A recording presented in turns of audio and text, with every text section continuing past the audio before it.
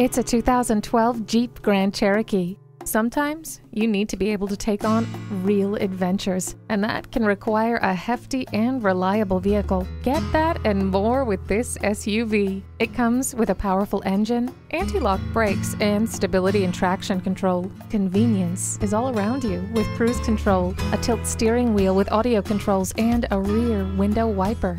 Dual zone air conditioning lets you and your passengers pick a personal temperature. Heated mirrors means never worrying about ice obstructing your view. Make this beauty yours. Test drive it today.